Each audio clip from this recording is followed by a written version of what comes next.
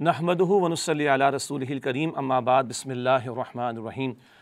ماہ رمضان مبارک میں بھی مسلمانان پاکستان کے لیے مساجد کے حوالے سے حکومتی حلقوں نے جس قدر اقدامات کیے اور انتہائی محدود سطح پر کسی درجے میں ایس او پی سو کالڈ کے ساتھ نمازوں کی اجازت دی۔ سارا میڈیا بھی سپورٹ کرتا رہا کہ جناب پابندی لگانی چاہیے، سارے میڈیا پر اینکر پرسنز بھی چیختے اور چلاتے رہے، سیاستدان بھی اور حکمراں بھی، ریاستی ادارے بھی کہ صاحب بڑا مسئلہ ہے، کرونا وائرس کے حوالے سے سوشل سوشل ڈسٹنسنگ بہت ضروری ہے اور یہ مذہبی شاعر جو ہیں، نماز کا معاملہ، جمعہ کا معاملہ، اس کو محدود کیا جائے۔ علماء کرام نے متفقہ لا عمل دیا بھی، مانا بھی اور مساجد والوں نے اہتمام کر کے دکھایا، ان ایس او پیز پر عمل کر کے دکھایا حتی الامکان۔ اور جیسے ہی حکومت نے مارکٹس کھولیں تو ساری ایس او پیز کی دھجیاں بکھیر دی گئیں۔ یہ کیا تماشا ہے؟ یا کیا، یہ کیا ڈویلٹی ہے؟ یہ کیا دوغلا پن ہے؟ کہاں ہیں وہ تمام اینکرز کہاں ہیں وہ ہمارے تمام ڈاکٹرز کہاں ہیں وہ تمام ریاستی اداروں کے حضرات؟ کہاں ہیں وہ ہمارے حکمراں؟ کہ جنہوں نے سارا زور لگا دیا مساجد پر۔ لیکن مارکٹس کھولی تو ساری دھجیاں بکھیر دی گئیں، ساری ایس او پیز کی۔ وہ بھائی، کیا مساجد ہی رہ گئیں؟ اللہ کا ذکر ہی رہ گیا، اللہ کے حضور سجدے ہی رہ گئے، اللہ کی طرف رونا گڑ گڑانا ہی رہ گیا، اللہ کے حضور نماز ادا کرنا ہی رہ گیا، سارا زور وہاں پر لگا دیا گیا۔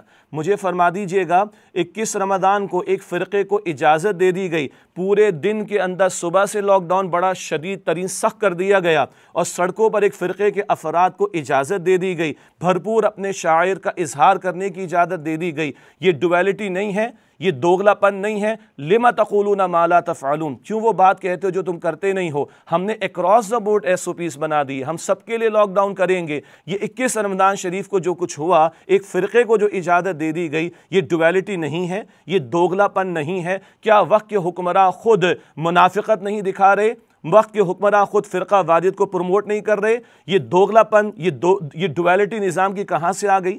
آج ہمارے چیف جسٹس صاحب سے میں گزارش کرنا چاہوں گا، عدالت سے گزارش کرنا چاہوں گا، ذرا ایکشن تو لیں، اس ایک ملک میں دو قوانین چلیں گے۔ اور ایسا قانون کا معاملہ کہ سارے قانون کا زور مساجد پر ڈال کر ان کو تو محدود کر دیا گیا، اس لیے کہ مساجد والے، اللہ کے حضور جھکنے والے، وہ شریف لوگ ہیں، وہ صبر کرنے والے ہیں، وہ کچھ کہتے نہیں ہیں۔ وہ کچھ کرتے نہیں ہیں تو ان کو اور دباؤ اور دباؤ اور دباؤ، اور محدود کر دو اور اکیس رمضان شریف کو جو ہے وہ ایک فرقے کو پوری اجازت دے دی گئی۔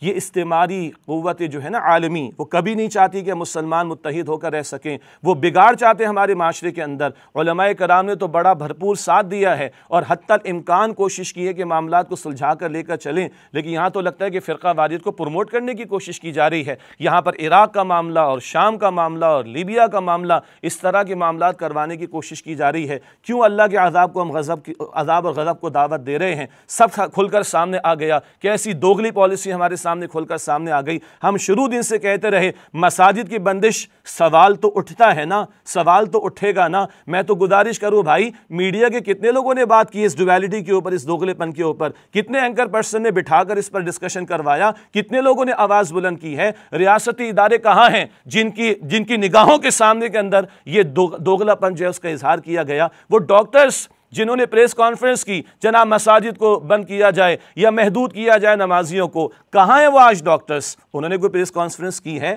کہاں ہیں وہ سیاستدان؟ انہوں نے آگے کوئی ڈسکشن کیا ہے؟ کہاں وہ اینکر پرسنز چلے گئے جنہوں نے مساجد کے بارے میں ایک پہاڑ بنا دیے پورے ملک کے اندر؟ ایک عالم کو بلاؤ، دوسرے کو بلاؤ، ساری توبہ گروہ علماء کی طرف کر دیا تھا۔ آئیے نا اس مسئلے کے اوپر آج بات کیجیے نا۔ یہ کیا ڈویلٹیز پاکستان کے اندر چل رہی ہے مسجدیں ہی رہ گئیں، نماز رہ گئی، جمعہ رہ گیا تراوی رہ گئی، اللہ کے حضور جھکنا رہ گیا۔ اس پر پابندیاں، باقی تم مارکٹس بھی کھول دو، تم ٹرانسپورٹ کو بھی کھول دو، بازاروں کو بھی کھول دو۔ وہاں کرونا نہیں آئے گا، مساجد کے اندر کرونا آئے گا۔ پہلے ہم کہتے تھے، لوگ کہتے ہیں، آپ لوگ جذباتی ہو۔ یہ جذباتی ہے، تب سامنے آ گئی ہے۔ یہ ڈویلٹی منافقت سامنے آ گئی کہ نہیں؟ ہم حکمرانوں سے گزارش کریں، اللہ کا خوف کرو۔ فرقہ واریت کی طرف قوم کو لے جانے کی کوشش نہ کرو۔ اللہ کے غضب کو دعوت نہ دو۔ ساری محنتیں کر ڈالی مساجد کو روکنے کی، نمازوں کو روکنے کی، جمعے کے اجتماعات کو روکنے کی تراوی کے اجتماعات کو روکنے کی۔ ہم اللہ کے غضب کو دعوت دے رہے ہیں۔ وہ بھی ماہ رمضان المبارک کے اندر ہم حکمرانوں سے گزارش کریں، ریاستی اداروں سے گزارش کریں، مقتدر قوتوں سے گزارش کریں۔ اللہ کا خوف کریں، بھائی مسلمان ہیں ہم سب کے سب۔ اللہ کا خوف کریں، اللہ کے غضب کو دعوت نہ دیں۔ اور اس ملک کو واقعتاً اسلام کا ملک بنانے کی کوشش کریں۔ اور سارے اسباب تو ہم نے اختیار کر کر کے دیکھ لیے، لیکن کہیں سے آواز نہیں اٹھ رہی۔ حکمرانوں کی طرح سے کوئی آواز نہیں اٹھی۔ وفاق والے ہیں، سندھ گورنمنٹ والے چپکلش کا معاملہ اپوزیشن کا معاملہ، لانتان کا معاملہ۔ او بھائی، اللہ کے حضور پر پلٹو، اللہ کے حضور گڑ گڑاؤ اللہ کے حضور رو۔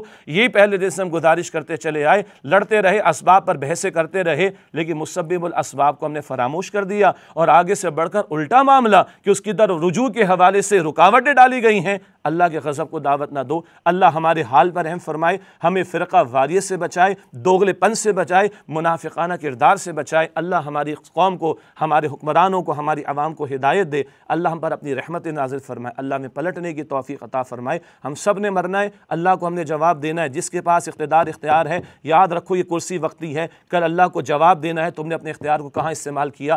حق کے لیے یا باطل کے لیے؟ اللہ کی طرف آنے کے لیے، اجازت دینے کے لیے تم نے اختیار استعمال کیا یا اللہ کے راستے کو روکنے کے لیے اختیار استعمال کیا؟ بھائی تم نے بھی جواب دینا حکمرانوں کو میں کہہ رہا ہوں، اور ہم نے بھی جواب دینا ہے۔ ہم نے بھی حق بیان کرنا ہے جو اللہ نے صلاحیت عطا فرمائی۔ ورنہ ہم اللہ تعالیٰ کو کیا قیامت کے دن جواب دیں گے؟ اللہ ہمارے علماء کی بھی حفاظت فرمائے، اہل حق کی حفاظت فرمائے، ان کو بھی کلمہ حق کہنے کی توفیق عطا فرمائے۔ اللہ مساجد کی حفاظت فرمائے، مساجد والوں کی حفاظت فرمائے، اور اللہ ہمیں اجتماعی طور پر سچی پکی توبہ کی توفیق عطا فرمائے، اور اللہ ہم سب کو امن، عافیت، سلامتی رحمت عطا فرمائے۔ وآخر دعوانا الحمد للہ رب العالمین۔ والسلام علیکم ورحمۃ اللہ وبرکاتہ۔